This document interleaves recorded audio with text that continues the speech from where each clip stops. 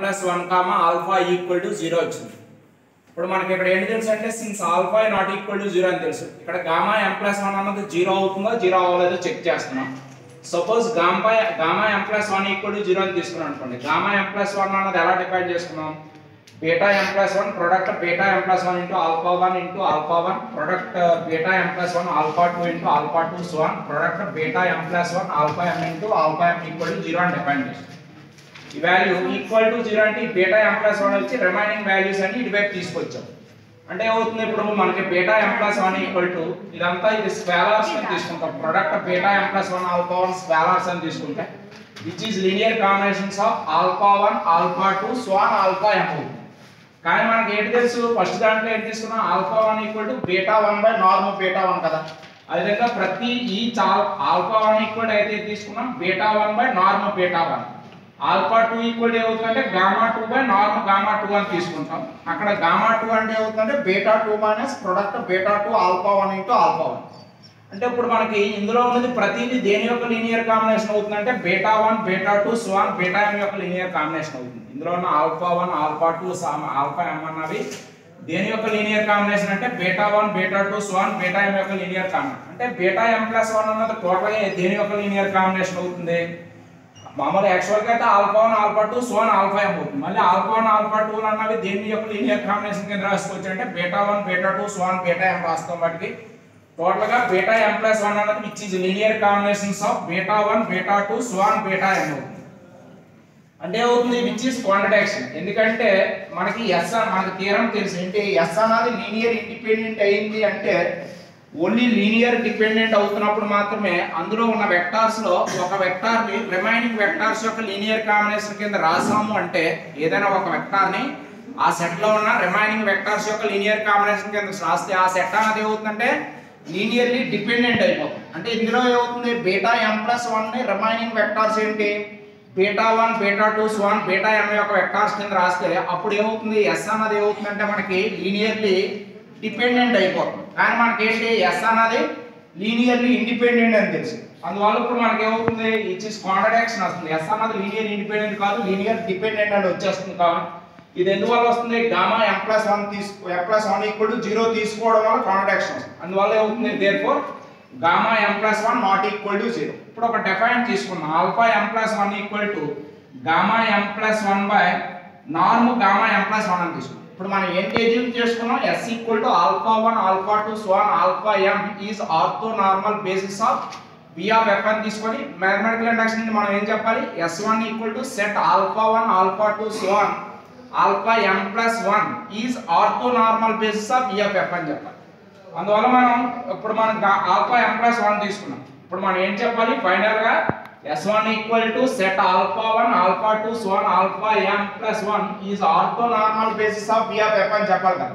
Assume చేసుకోండి.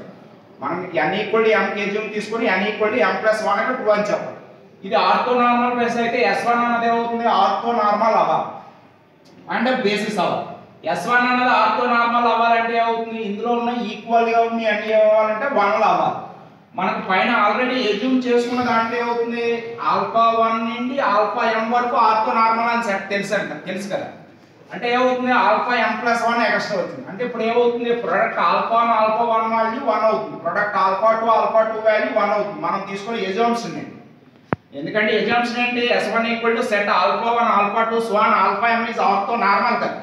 అంటే అందులో ఉన్న ఆర్థో నార్మల్ కండిషన్స్ అన్ని సాటిస్ఫై అవుతుంది అడిషనల్గా ఇక్కడ ఏంటి వచ్చిందంటే ఆల్ఫా ఎం ప్లస్ వన్ వచ్చింది అంటే ఏం చెప్పాలి మనం product alpha M plus one alpha M plus one value one అని చెప్పాలి అందువల్ల product alpha M plus one alpha M తీసుకుంటే ఏమవుతుంది ఈ రెండు మల్టిప్లై చేస్తే అవుతుంది product gamma M plus one gamma M plus one by norm gamma M plus one మనకు తీరం మనకు తెలుసు కదా product gamma M plus one gamma M plus one అంటే ఎంత అవుతుంది మనకి norm gamma M plus one whole square అవుతుంది రెండు క్యాన్సిల్ అయిపోతే అవుతుంది ఇప్పుడు అవుతూ ఇంకేంటి తెలుసు ఇక్కడ? మిగతా ఈ gamma M plus one into alpha alpha M plus one product alpha M plus one alpha one zero అని చెప్పాలి. Product alpha M plus one alpha two zero చెప్పాలి. డిఫరెంట్ కదా అవన్నీ. Product gamma M plus one alpha M వరకు జీరోలు అని చెప్పాలి. అందువల్ల మళ్ళీ అవి చేస్తాం ఏంటి? Product alpha M plus one alpha one I అని తీసుకున్నాం. ఇక్కడ ఐ అంటే I equal to one two three so అని ఎం అని. డిఫరెంట్ ఎలిమెంట్స్ అన్ని జీరో అని చెప్పాలి. ఇప్పుడు మనం ఏం తీసుకున్నాం? Gamma alpha M plus one అంటే ఏంటి? Gamma M plus one by define. Gamma M plus one by norm. ఇది స్కాలార్ అనుకోండి. స్కాలార్లో ఏంటి? మనకి product A alpha gamma beta ఉంటే ఏంటి రాస్తాం? A into product alpha beta ఆ విధంగా one by gamma M plus one ముందుకు రాస్తాం. Product gamma M plus one alpha. మనకి ఏంటి తెలుసు? Product gamma M plus one alpha ఈ వాల్యూ జీరో అని తెలుసు కదా. ఆ వాల్యూ ఇక్కడ సబ్స్టిట్యూషన్ చేస్తే జీరో అంటే product gamma M plus one alpha అన్నది ఏమవుతుందంటే జీరో అయింది. I equal to one two three ఈక్వల్గా ఉన్నప్పుడు ఏంటైందంటే వన్ వచ్చింది. డిఫరెంట్గా ఉన్నప్పుడు ఏమవుతుందంటే జీరోలు వచ్చింది. అంటే ఇప్పుడు ఏమవుతుంది? ఎస్ అనే సెట్ అనేది ఏమవుతుందంటే ఆర్థో నార్మల్ యొక్క టూ కండిషన్ సాటిస్ఫై అయింది కావున S one is orthonormal అయింది. ఇంకా బేసిస్ అని చెప్పాలి. ఎస్ వన్ అన్నది బేసిస్ అని చెప్పాలంటే ఏమవుతుంది మనకి? S one is linear independent చెప్పాలి. దీంట్లో ఎన్ని వెక్టార్స్ ఉన్నాయి? ఆల్ఫా వన్ నుండి ఆల్ఫా ఎం ప్లస్ వన్ వరకు ఉన్న బట్టి ఆ లీనియర్ కాంబినేషన్ తీసుకున్నాం. ఇప్పుడు మళ్ళీ alpha one alpha two so on alpha M దేని యొక్క లీనియర్ కాంబినేషన్? బీటాలో మార్ మార్చవచ్చు alpha one alpha two beta. ఇప్పుడు ఇది ఏమవుతుంది? Which is linear combination of beta one beta two so on beta M plus one ఇక్కడ ఈ beta one beta two so on beta M plus ఎందులో ఉంటాయి? ఎస్లో ఉంటాయి. ఎస్ అన్నది ఏంటి తెలుసు? లీనియర్ ఇండిపెండెంట్ అండి ఆ లీనియర్ ఇండిపెండెంట్లో లీనియర్ ఇండిపెండెంట్ అయిందంటే ఆ కాంబినేషన్లో ఉపయోగించిన స్క్వేలర్స్ అనేవి అవుతాయంటే జీరోలు అందువల్ల మనం ఏం రాస్తున్నాం అంటే సిన్స్ బీటా వన్ అన్నది లీనియర్ ఇండిపెండెంట్ తెలుసుకోండి ఆ లీనియర్ కాంబినేషన్లో ఉపయోగించిన స్క్వేలర్స్ అనేది జీరో అంటే S one is linear independent ఇంకా బేసిస్ అని చెప్పాలంటే ఏం చెప్పాలి? L of S one equal to V అని చెప్పాలి. ఎల్ ఆఫ్ ఎస్ వన్ అంటే ఏంటి?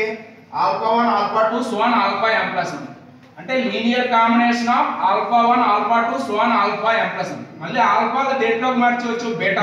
అంటే అది ఏమవుతుంది? Linear combination of beta linear of combination of beta అన్నది ఏమవుతుందంటే బీకి ఈక్వల్ అవుతుందని మనకు తెలుసు. ఈ టూ ఆర్థో నార్మల్ అయింది బేసిస్ అయింది బట్టి ఏమవుతుందంటే S one is orthonormal basis of V of F by mathematical induction నుండి ఏం చెప్పాం? ఎన్ ఈక్వల్ టు వన్కి ఎస్ వన్ టూ అని చెప్పాం. ఎన్ ఈక్వల్ టు ఎం కి టూ అని తీసుకొని N equal to M plus వన్కి టూ అని చెప్పాం బట్టి ఏమవుతుంది? మ్యాథమెటికల్ ఇండక్షన్ నుండి S one is true for all N అవుతుంది. అంటే ఎన్ వరకు నిజం అవుతుంది. అంటే ఏమవుతుంది? S one equal to set alpha one alpha two one alpha N is orthonormal basis of U. అంటే దేర్ ఫోర్ థియరం ఏంటి every finite dimension inner product space has